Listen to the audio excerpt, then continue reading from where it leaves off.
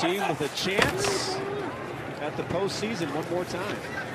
Here's Dobbins weaving his way through, and now Dobbins a foot race. Dobbins showing the wheels, and he's in for the touchdown. Wow! A 72-yard sprint by the rookie from Ohio State.